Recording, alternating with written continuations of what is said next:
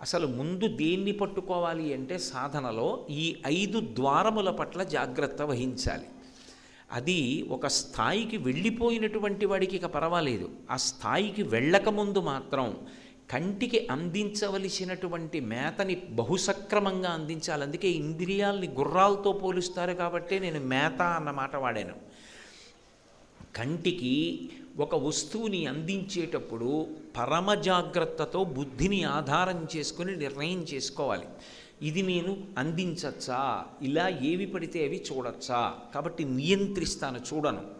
చెవితో ఏవి పడితే అవి వినను. అందుకే భద్రం కర్ణీభి శృణుయామ దేవాహ అంటుంది వేదం. ఈ చెవులతో భద్రమైనటువంటి వాక్కులు మాత్రమే వింటాను. లేకపోతే ఏమైపోతుందంటే ఈ ఐదు ద్వారములలోంచి లోపలికి వెళ్ళినటువంటి విషయములను బట్టి మనసు సంస్కారాన్ని పొందుతుంది. ఆ లోపల ఎటువంటి సంస్కారాన్ని పొందిందో కర్మేంద్రియాలతో ఆ పనులే చేస్తుంది. నేను ఏదో చూడకూడనిది చూశాను అనుకోండి చూసి లౌల్యానికి గురయ్యాను అనుకోండి అప్పుడు నేను ఒక తప్పు పని చేస్తాను. నేను అలా వెళ్ళిపోతుంటే నాకు ఒక బంగారు వస్తువు దొరికిందనుకోండి ఇంత ప్రవచనం చేసిన వాడిని ఎంత ప్రవచనం చేస్తే మాత్రం మళ్ళీ దొరుకుతుందా? దగ్గర దగ్గరగా పది లక్షల రూపాయలు ఉంటుంది. అని తీసి జేబులో వేసుకున్నాను అనుకోండి ముందు కన్ను కదు చూసింది చూడగానేది బంగారం చేత్తో తీసుకుని నిర్ణయించి జేబులో పడేసుకున్నాను. కానీ కంటితో చూడగానే అందుకే సనాతన ధర్మంలో శాస్త్రానికి ఉన్న గొప్పతనం ఎక్కడుందంటే చూపుని లోచూపుతో విరవడం నేర్పుతారు. ఈ కంటిది తప్పు కాదు. చూడకుండా కన్ను ఎలా ఉంటుంది? నేను ఇప్పుడు మా ఇంటి నుంచి బయలుదేరి ప్రవచనానికి వచ్చేటప్పుడు ఎన్నో విషయాలు చూశాను. చూడకుండా రాగలనా? కళ్ళు మూసుకు రాగలనా? కాదు. శాస్త్రం మనకి నేర్పుతుంది. మనసుకి సంస్కారం ఎలా అందించాలో నేర్పుతుంది. ఒకవేళ కంటికి కనపడకూడనిది ఏదో కనపడింది అనుకోండి ఉత్తర క్షణంలో నీ మనసు నుంచి ఒక ప్రచోదనం రావాలి. అందుకు శాస్త్రాన్ని పట్టుకో గురువుని పట్టుకో అంటారు. ఏదో మాతృవత్ పరద పరదారీషు. నా కంటికి అన్యకాంత కనపడింది అనుకోండి ఉత్తర క్షణంలో నా మనసులో ఏ భావన రావాలంటే అంటే నేను ప్రవచనం చేస్తున్నాను కాబట్టి ఒకరి మీద పెట్టి వారిని తక్కువ చేయడం నాకు ఇష్టం ఉండదు. అందుకని కొంచెం అది ఇబ్బంది కల్పించే విషయం అనుకుంటే నా మీదే పెట్టుకుని మాట్లాడుతూ ఉంటాను. నేను ఎవరినో చూశాను అనుకోండి ఓ ఈవిడ చాలా అందంగా ఉన్నారు అన్న భావన నా మనసులో కలిగిందనుకోండి ఉత్తర క్షణంలో దాన్ని నేను ఏమని ప్రోధి చేసుకోవాలంటే భావాన్ని అవునవును. నేను ఉదయం కామాక్షి పరదేవతని ధ్యానం చేస్తూ ఉంటాను కదూ నేను ధ్యానం చేసేటటువంటి కామాక్షి పరదేవతయే ఇంత శోభస్కరంగా ఇవాళ వచ్చి నా ఎదురుగుండా కూర్చుంది. నా తల్లి ఈ రూపంలో కూర్చుంది.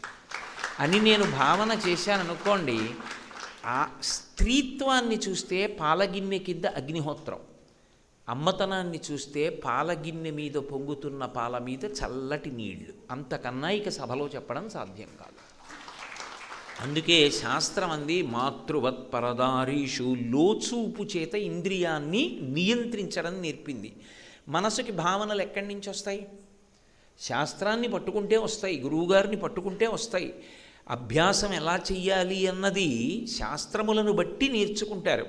ఇప్పుడు అలా సాధన చేశాడనుకోండి కొంతకాలం ఆ మనసు అటు ఇటు పరిగెత్తదు. దానికి అలవాటు అవుతుంది కొన్ని కోట్ల జన్మలుగా దానికి స్వేచ్ఛనిచ్చి అది ఏం చెప్తే అది వినడం అలవాటైపోయింది. కానీ ఏదో ఒక సందర్భంలో ఆగి నువ్వేం చెప్పావు అన్నదానికి తిరిగి జవాబు చెప్పడం అలవాటైందనుకోండి మనసు యొక్క స్వేచ్ఛ నియంత్రింపబడుతుంది.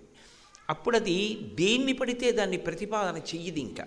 పవిత్రమైన విషయాలనే ప్రతిపాదన చేస్తుంది.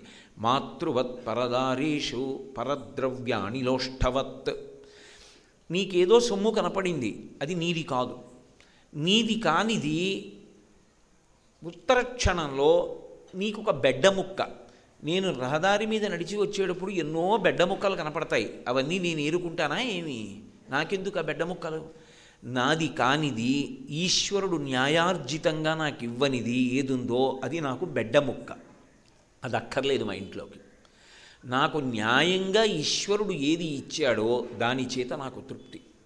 కాబట్టి అది బెడ్డ ముక్కగా చూసేటటువంటి భావన కలిగిందనుకోండి ఆ భావన చేత నిజమైన సంస్కారం అందుతుంది. అది మనసుకి ఆ పరిపుష్టి కలగలేదనుకోండి పైన బట్టలు ఏం మార్చుకున్నా రంగు ఏం మారినా దానివల్ల పెద్ద ఉపయోగం ఉంటుందని నిర్ధారించడం చాలా కష్టం. నేను ఎందుకు ఈ మాట అంటున్నానంటే రామకృష్ణ పరమహంస ఒక అద్భుతమైనటువంటి ఉదాహరణ ఒకటి చెప్తారు. భార్యాభర్తలు ఇద్దరు జీవితంలో అన్ని విధాలా స్థిరపడిపోయాం మనవణ్ణి కూడా చూసేసాం ఇంకా ఎందుకు? ఇక మెల్లిగా వానప్రస్థానికి వెళ్ళిపోదాం అని బయలుదేరారు. ఇద్దరూ నడిచి వెడుతున్నారు ఏదో ఒక ఆశ్రమ జీవనం గడుపుదామని. వెడుతుండగా ఓ బంగారు వస్తువు ఒకటి కనపడింది. వెనక భార్య నడుస్తోంది. భర్త అనుకున్నాడు అన్నీ వదిలిపెట్టేసి ఆశ్రమానికి వెళ్ళిపోదామంటే ఉత్సాహంగా కలిసి బయలుదేరింది. తీరా ఇప్పుడు ఈ బంగారు వస్తువుని చూస్తే దాని మీద మోహం ఏర్పడితే ఇంత బయలుదేరింది పాడవుతుంది అని తన అరికాలతో దాన్ని తొక్కి పెట్టాడు.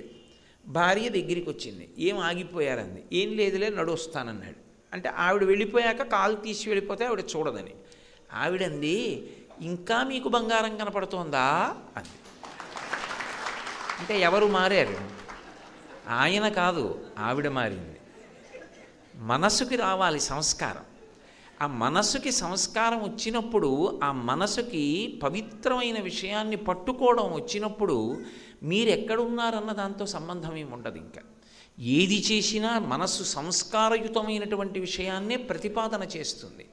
కాబట్టి పరద్రవ్యాణిలోష్టవత్ అలాగే ఎప్పుడైనా ఎవరితోనైనా వ్యవహరించేటప్పుడు ఒకే సూత్రాన్ని జ్ఞాపకం పెట్టుకోమని చెప్తారు. ఆత్మవత్ సర్వభూతీషు యపశ్యతి సపశ్యతి నాకు ఇలా జరిగితే అని ఆలోచించంతే అదొక్కటే తీరు. భక్తి అన్న మాటకు అర్థం ఏమిటో తెలుసా? ఇది ధర్మమా? భక్తి అంటే నేను మీతో నేను మనవి చేశాను కదా? కేవలం ఏదో పూజామందిరంలో పావు గంట అరగంట దేవాలయంలో ఓ గంట కూర్చున్నది భక్తిగా పూర్తిగా పరిడవిల్లదు. అది పండడం అన్నది ఎప్పుడు జరుగుతుందంటే ఏది చేస్తున్నా ఒక్కటే ప్రశ్న వేసుకుంటాడు. ఇది ధర్మమన్న చట్రంలోకి ఇముడుతుందా? ఇది ధర్మమన్న చట్రంలోకి ఇమడదు నాకొద్దు. ఇది ధర్మమన్న చట్రంలోకి ఇముడుతుంది తీసుకుంటాను. ఇది చెయ్యగలిగితే ఆ ధర్మము ధర్మ సూక్ష్మము అర్థమై ఆచరణాత్మకమైతే అది జీవితం పండడానికి కారణమవుతుంది. అందుకే ఎప్పుడైనా ఒక పని చేసేటప్పుడు ఈ పని నా పట్ల వేరొకరు చేస్తే నేను బాధపడతాను అయితే చెయ్యను. నేను సంతోషిస్తాను అయితే చేస్తాను. ప్రహ్లాదుడంత గొప్పవాడవడానికి కారణం ఏమిటి అంటే పా పోతన గారు భాగవతంలో ఒక మాట చెప్తారు. తనయందు అఖిల భౌతములందు నొకభంగి సమహితత్వంబున బరగువాడు అంటారు. తనకి ఈ పని జరిగితే ఎలా ఉంటుందో ఇతర